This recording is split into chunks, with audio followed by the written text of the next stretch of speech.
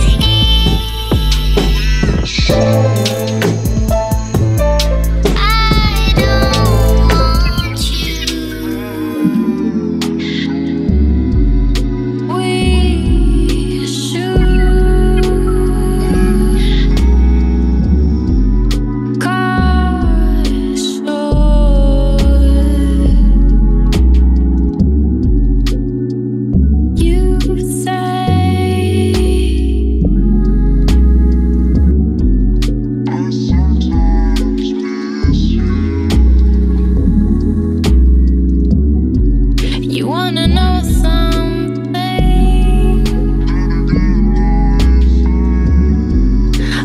go to